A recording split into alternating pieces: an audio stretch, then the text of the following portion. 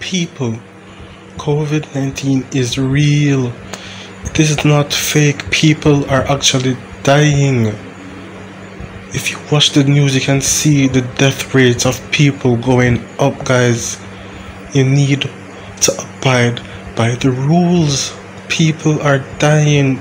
Wear your mask. Take the vaccine. Social distance. Please. People are dying. Think about your loved ones. Think about your mother. Think about your father. Think about your sisters. Think about your brothers. People are dying. You don't want them to die. So just please, please abide by the rules. Stay at home. Stay inside. Thank you for listening.